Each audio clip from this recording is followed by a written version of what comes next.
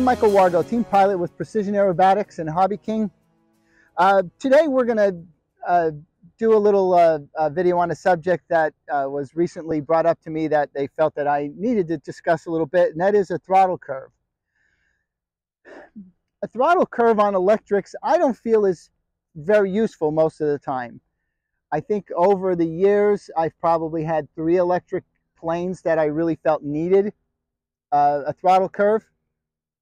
But conversely, uh, uh, Tom actually has to, has been working on a throttle curve for his um, his extra or his edge. He's been, but it's a gas plane, and often the uh, the gas and glow models, you know, really are hard to find a nice soft spot where the plane is hovering, and you can add a little throttle to make it go up or uh, decrease a little bit to make it fall a lot of times they tend to have an all or nothing kind of a, a, an action on the throttle. So you're, you know, just a tiny click away from the plane climbing much more than you want. So you find yourself just blipping the throttle a lot more. Um, the key to setting the throttle curve is really simple. Uh, you know, take your plane up into a hover and find that that spot where it's hovering and uh, wherever that kind of uh, zero mode is, where the plane is is uh, buoyant. With electrics, it's kind of easy. Uh, you can just hold it in your hand and put the throttle up until it feels like it can almost float out of your hand. Just make a mental note of where it is, and then go through to the throttle curve section. And basically, the throttle curve starts looking like a dead linear 0 to 100. And if right around 30% there, or 40%, or even 60% is where it is kind of buoyant, all you have to do is basically just flatten that area out a little bit so that, you know, two or three clicks uh, will get you to where the plane is climbing um, or falling. Uh, and just soften it up. It, it never happens first try, but, but basically, you know, you can kind of dial it in. Um, I don't like making it too soft. And again, every precision aerobatics plane I've ever had, uh, linear is just fine. The, the you know the motor's not uh, uh, gonna just rocket it up with one click or anything like that. So um, I think it's partially due to the fact that the motors are very matched to the airframes, not super overpowered and definitely not underpowered. So you know if it's in the Goldilocks zone, uh, it tends to behave the way it's supposed to. Again, I prefer linear, but if you want to do a throttle curve, um, I'll give you a little better idea while it's uh, flying what to do.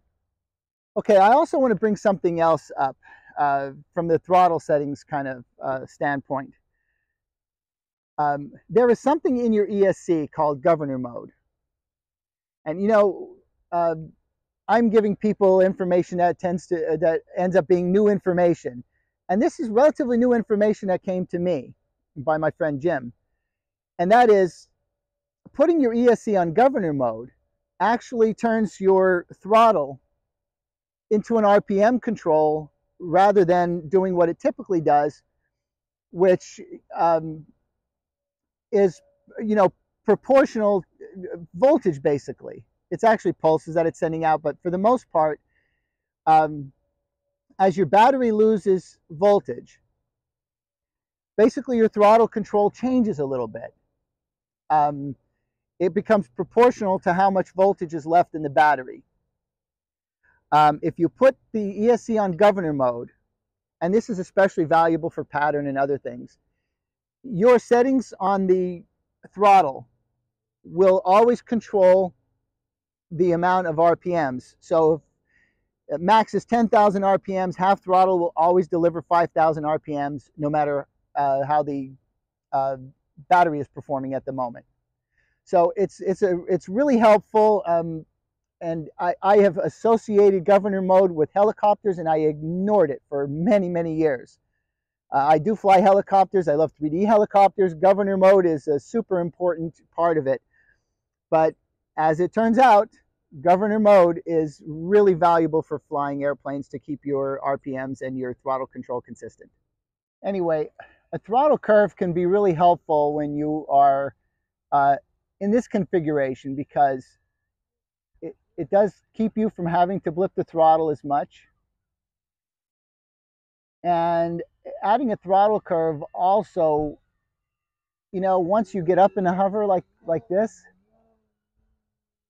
it can just soften this area. So you, there's a, a, much broader um, uh, window as to where the plane responds, you know, just a little bit instead of a lot. Um, having a throttle that's a little out of control is a real pain in the butt. And um, again, Tom is having that trouble with his uh, his giant scale plane with the gas motor.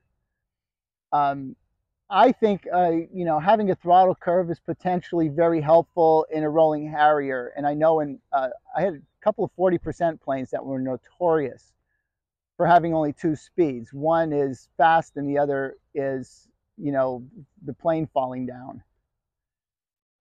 But having a throttle that's really responsive makes a lot of this really easy to, to, to really dial in this, uh, you know, the, the altitude and stuff like that. So in my opinion, you know, a throttle curve is, you know, some knowledge that everyone should have, how to program it and how to use it.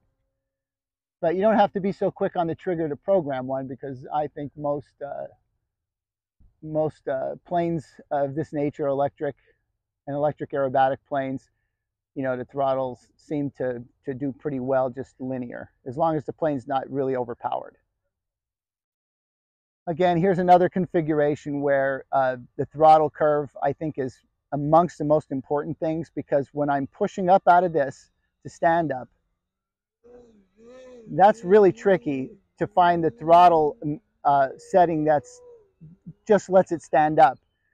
And you can see on videos with you know, my giant scale uh, gas planes and stuff like that, you know, you can see me really, you know, stand it up very smoothly. And with the gas ones, it is a result of having a really nice throttle curve. Um, my uh, AMR 60, that, that big biplane, is the one that when I'm standing it up from an inverted Harrier, uh, it, it, it, it tends to require a lot of throttle management where if I would program a curve, uh, it might be a little bit easier. And in fact, I might just try that just to see how, how much better it works out. But this maneuver here, when I'm standing it up into a hover, if I want to, if I want to stop and hover, you know, there's a, there's a point where you have to add a lot of throttle to keep it up there.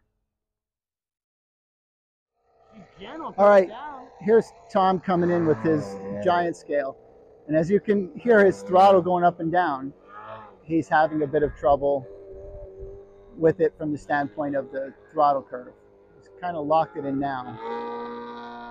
Okay, what we're going to do now is we're going to have somebody else look over his shoulder while I'm filming. And when he does get it to settle into his hover, Tori's going to watch and see exactly what his uh, throttle setting is and where he is when it's close. And then we're going to soften that entire area. Okay, what just happened is I took Tom's plane up to try and figure out what is or isn't wrong with it. And it seems that, you know, uh, above half, there's a part where it just spikes. Um, we're going to make some adjustments uh, to the lower part of it to make sure he has some throttle uh, coming up in the low end of it. So we're going to make some adjustments and then we're going to go back up. But I'm going to show you quickly what the problem is as it's going.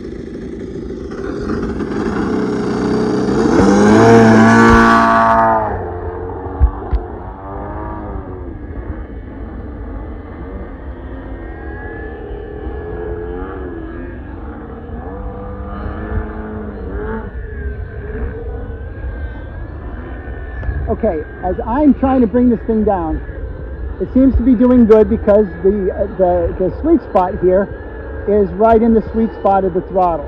However, as soon as we start going up in throttle a little bit, it spikes real fast. So you have a huge jump in RPMs. See, now I can't bring it down, it's kind of rising on me a little bit. And also we've discovered that during the uh, during a rolling Harrier, when I kind of lock it in like this, when it starts to fall and I need to save it, the uptick in it is too dramatic.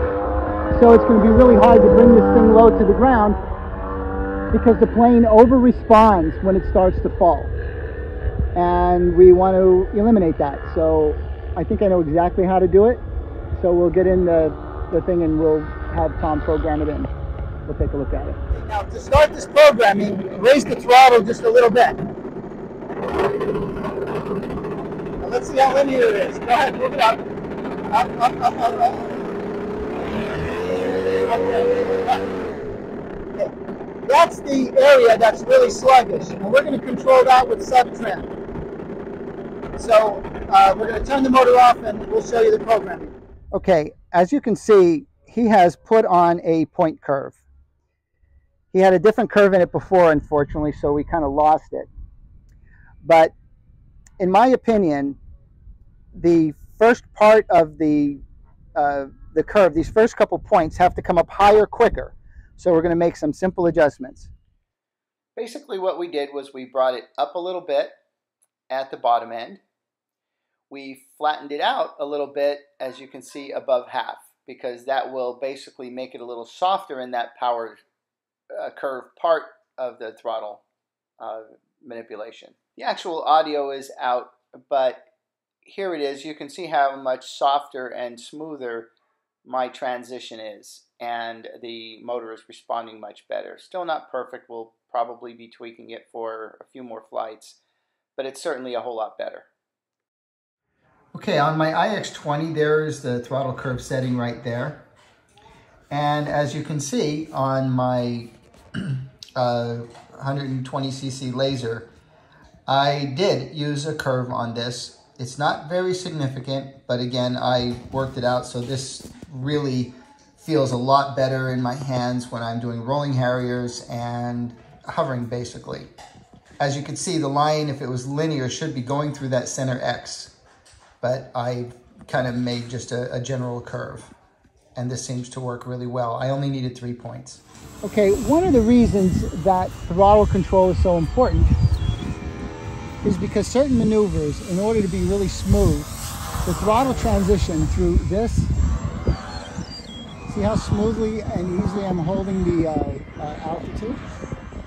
Adding a little bit of the falls a little bit, you know, uh, taking it away when it's climbing. Um, this maneuver requires really precise throttle control, and as you can see on Tom's uh, earlier, it was pretty hard uh, to keep that rolling Harrier uh, clean because the throttle was was just giving me too much or not enough. Um, although I found it fairly easy to, uh, you know, lock it into a hover, uh, it's just the transitioning in and out of a hover that was very difficult.